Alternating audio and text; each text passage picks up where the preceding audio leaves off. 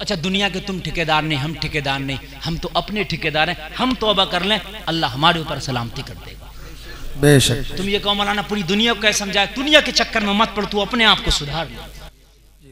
मैंने आज से नमाज़ पढ़नी है मैंने आज से नमाज़ नहीं छोड़ना मैंने आज से कुरान की तिलावत करना मैंने आज से गरीबों का ख्याल करना मैंने आज से गरीबों को खाना खिलाना मैंने अपने नजायज शौक छोड़ देना है। कोई मेरा गरीब भाई है तो मुस्तफ़ा की सुन्नत पर अमल करके उसकी मदद करना है। हमारे अंदर क्या है? दस हज़ार का हम मोबाइल चला रहे हैं भाइयों। और मार्केट में तीस हज़ार वाला आ गया तो दस वाले को पाँच में बेचते हैं। और जल्दी से जैसे भी करेंगे, वो तीस हज़ार वाला लाएँगे। जो काम तेरा दस हज़ार वाला कर रहा था, वही तीस हज़ार वाला। बस क्या है तेरी महल्ले में थोड़ी नाक ऊँची हो जाएगी, फलाना तीस हज़ार का मोबाइल चला रहा। यही है ना? लेकिन अगर तू इस शौक को कुर्बान कर देता और जो पच्चीस हज़ार तूने मोबाइल में डाले थे ना डाल के तेरी बस्ती में कितनी गरीब बेटियाँ ऐसी होंगी जो जवान होंगी उनकी शादी नहीं हो पा रही है। ये मोबाइल का पच्चीस हज़ार उस बेटी के बाप को दे देता अपनी बेटी का निकाह कर दे। अगर वो अपनी बेटी का तेरे पैसे से निकाह कर देता तो खुदा की कसम फिर तेरा कनेक्शन वोडाफोन आइडिया रिलायंस से नहीं मिलता। डायरेक्ट मदीने वाले मुस्तफ़ा से मिल है, है, है, सुभान अल्लाह अल्लाह बहुत खूब बहुत खूब। तेरा कनेक्शन इनसे नहीं मिलता फिर तेरा कनेक्शन उनसे मिल जाता। जी। लोगों हमें तो जरा सा भी ख्याल ही नहीं है यार। कहाँ चले गए हम? ना हमें भूख की भूख का ही ख्याल नहीं। सरकार होते पाक फरमाते हैं दुनिया में बहुत नेक काम है मगर सबसे बड़ा नेक काम किसी गरीब को खाना खिलाना किसी गरीब की मदद करना है। जी हक जो गरीब होता ना लोगों हम सोचते हैं, यार, हमारी एक मंजिल बन गई, दूसरी बन जाए, तीसरी। गरीब तो सिर्फ़ इतना ही सोचता यार, शाम का खा लिया तो सुबह का नाश्ते का भी इंतज़ाम हो जाता। लोगों, एक बात बताऊँ मैं आपको, जरा सुनना। यारा, जरा सुनना, इस्लाम क्या है? इस्लाम क्या है? लोगों, जरा सुनना।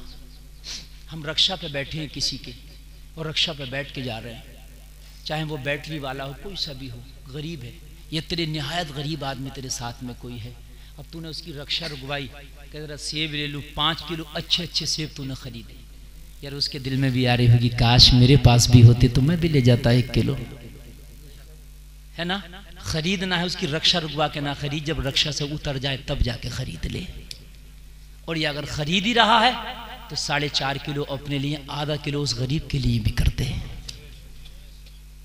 तेरे बच्चे आधा किलो कम खा के दुबले कमज़ोर नहीं हो जाएँगे। वो गरीब यार तुझे बड़ी दुआएँ देकर जाएगा। क्योंकि अगर वो दो से तीन सौ रुपए किलो का सेब खरीदे तो एक किलो सेब में उसके पूरे दिन की कमाई चली जाएगी। लोग शौक नहीं होता। अच्छा खाने सबका दिल चाहता। लेकिन यार अपनी जेब को देख के आदमी कंप्रोमाइज करता है।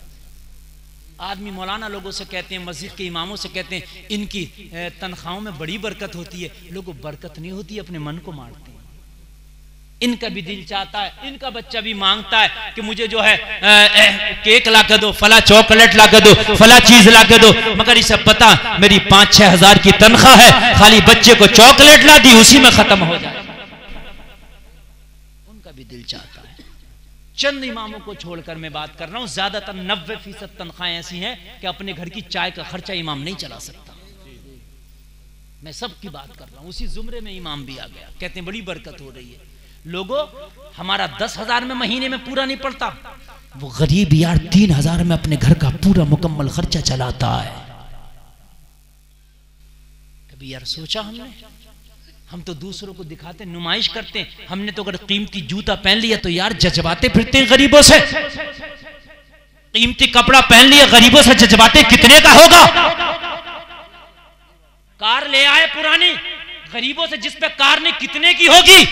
अगर उस गरीब ने कम बता दी तो कहने, इतने पे तो खड़ा नहीं होने देगा दुकान पे। और नमक मिर्च लगा के, झूठ बता के और लंबा बताते इतने की लाया हूँ मैं तो खरीद के। यार वो तो ऐसी कार में बैठा भी नहीं है गरीब।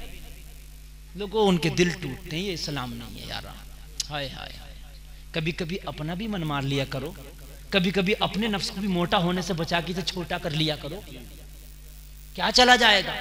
शादियों में कपड़े पहने हमारी बेटियाँ, हमारी बहनें बड़े बड़े लिबास फाखरा पहन के जाएँगी, दिखावा करेंगी, और जो कम कीमत वाले लिबास होंगी, उनके सामने जाके बैठ के दिखाएँगी, मेरा सूट कितने का होगा?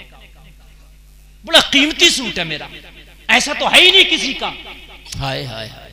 तुमने कीमती सूट बनाए थे, दस हज़ार की शॉपिंग की थी, एक हज़ार की कम करके नौ हज़ार की शॉपिंग खुद कर लेता। एक हज़ार की शॉपिंग किसी गरीब के बच्चे को भी करा देता। तब कमाल, इस मोटे नफ्स को थोड़ा सा मार लेता। लेकिन हमने तो मोटा नफ्स ही का मारा जी। हम तो अगर रक्षा पर भी बैठ गए, पहले वो हाथ वाले रक्षा चलते थे, अगर चढ़ाई भी आई तो हम तो ऊपर ही रक्षा पे चढ़े पड़े, हम क्यों उतरेंगे? हम तो दस रुपया जो दे रहे हैं इसे। लेकिन यार इंसानियत भी तो एक चीज़ होती है ना।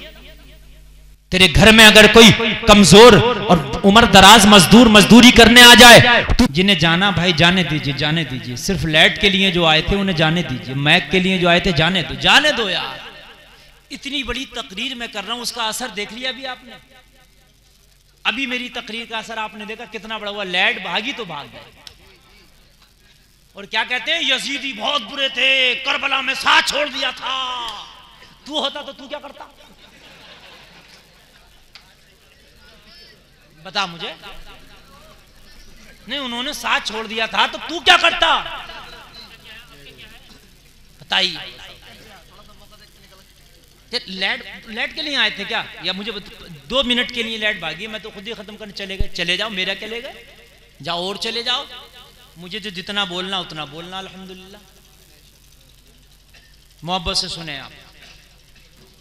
क्योंकि एक बार लाइट और चली गई ना, इमाम मुस्लिम ने जब नियत बांधी थी ना तो चालीस हज़ार थे पीछे। और जब सलाम फेरा था ना तो इधर फेरा तो इधर के साथ थे, इधर फेरा, इधर के साथ ये हमारी बेवफाई है यार, ये रोने की बात यार, ये हमें, हम ही कलमा पढ़ने वाले थे वो लोग। नमाज़ पढ़ने वाले थे वो लोग। यार, ये बेवफाइयाँ हमारी। अभी तो तकरीर सुनने थे, कहा बड़ी अच्छी बात हज़रत आप कह रहे हैं। और उसके बाद में, और जरा सी लाइट भागी तो इसका मकसद क्या? फिर लाइट के लिए आए थे क्या?